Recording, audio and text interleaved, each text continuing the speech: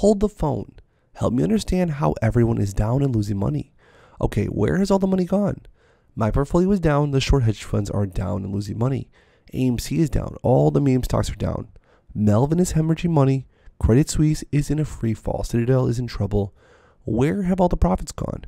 Clearly, money is not like energy, where its energy cannot be destroyed or created. Explain this to me. So the main reason everything is dropping in price right now is because the Federal Reserve is cutting liquidity to the overall stock market.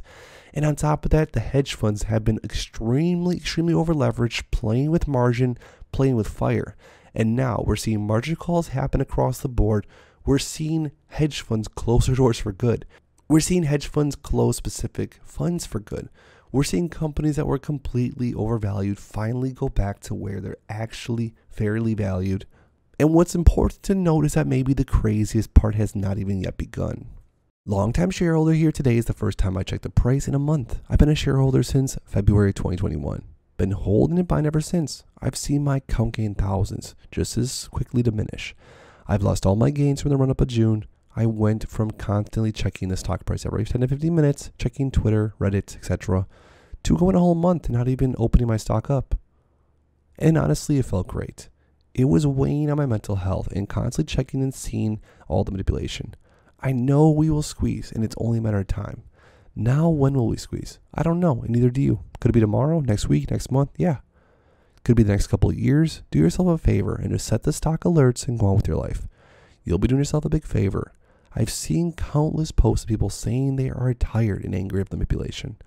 That's exactly what they want us to feel. It's a mind game and to get you to tap out is to sell.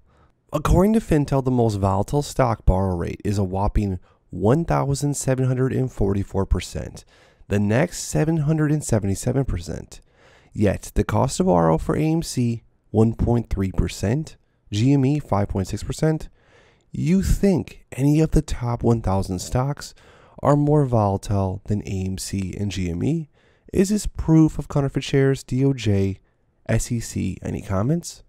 So the cost of borrow rate for AMC has been pretty shockingly low the whole duration, more or less, of this entire situation. And it makes no sense to me the fact that the cost to borrow has been so low throughout this entire play. Comment down below what you guys think this is all about. If you have diamond hands, the daily price is a blessing in disguise. Been here since $5. It's moon or nothing, so take the BS price drops and add more moon bananas on the discount. We are not here for hedgy crumbs, so the 20s, 30s, 40s does not matter at all. Let's punish these corrupt hedgies and buy and hold till they crumble. Stay the course, buy and hold till they cannot be beat. Diamond hands will be rewarded in due time. Now, it's pretty true that the 20s, 30s, and 40s doesn't really even make any of us flinch anymore. I mean, obviously, I'm only speaking for myself, but it seems like as the community as a whole, if AMC does reach 20, let's say, or 30 or 40, the community is kind of like, yeah, that's cool. We're heading up to the bigger numbers, but nobody is like, oh, great, it's time to sell. It's time to make our little crumbs of money. The retail investors are in this trade for the long term, and we can see that by the data. But if you want to stay up to date with everything else that's going on with AMC, because trust me guys, there's a lot more to go through, make sure to please subscribe to my channel with notifications turned on so you never miss out on an up and coming video.